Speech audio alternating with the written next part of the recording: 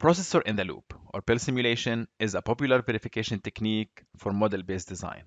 This video shows how you can perform PIL with Simulink and Green Hills Multi-IDE from the convenience of your desktop. Simulink and Embedded Coder let you model, generate code, and perform in-the-loop testing for embedded processors.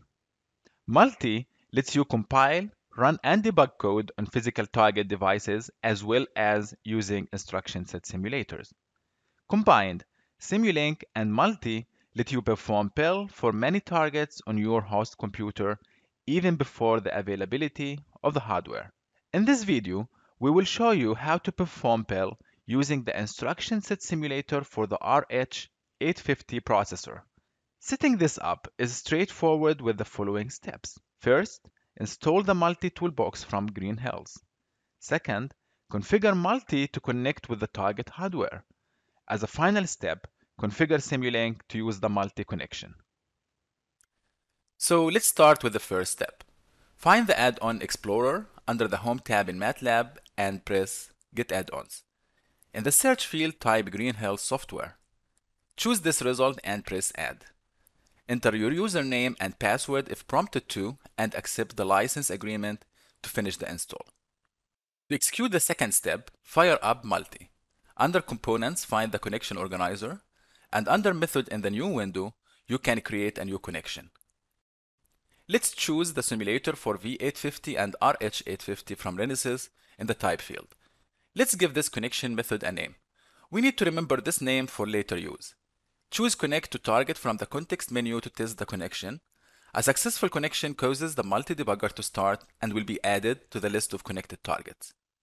Now back to MATLAB. In the command window type multi.setup to bring up the configuration GUI. Select RH850 and press OK. In the new window, provide a path to your installation of multi. Provide a path to your installation of the target compiler for RH850 from Green Hills. Provide the name of the connection which we have already set up in multi. You can modify the compiler and linker flags as required. We will for now keep the default values. With this done, we are ready to run PIL in Simulink. The multi-toolbox we installed earlier comes with an easy-to-follow tutorial to run PIL on individual models. Along the lines of this tutorial, we will use an example model from Embedded Coder.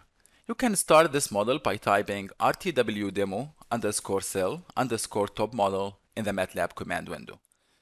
You need to make sure that you have right permissions in the current folder in MATLAB since generated code will be placed here by default. Let's now configure this model to run PIL. Under Modeling, press Model Settings. First, select Hardware Implementation in the left column. Then on the right, select your hardware board. This lets MATLAB know what hardware is used so that code can be correctly generated. Let's choose Green Hills Software Multi RH850. Now select code generation in the left column. Make sure to select the system target file for embedded coder, ert.tlc, and then select the toolchain for the target device. This tells MATLAB how to compile and link automatically generated code. Let's choose Green Hills Software Multi RH850 tools. Finally, select verification in the left column. Then on the right side, make sure that measure task execution time is disabled. Save the configuration. In the CellPIL app, select simulation mode to be PIL and then run verification. This causes the multi-debugger to start to handle the communication with Simulink and to execute the generated code of the model. At the end of the simulation, the Data Inspector window shows up, providing a comparison between the MIL and PIL simulation runs. The results validate the numerical equivalence of the model and the target object code. Let's go back to the Simulink model and check the diagnostic viewer to see what is going on behind the scenes. First thing to notice is that Simulink generates code from the model. Simulink then invokes the compiler toolchain for RH850. The rest of the diagnostics show further details on how PIL communication is established between Simulink and the target.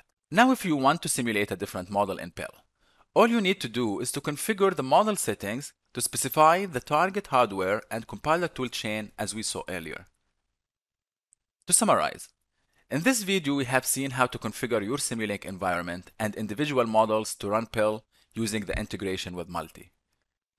In the next video, you will learn how to build on this to comply with requirements from safety standards like ISO 26262 in a large-scale project.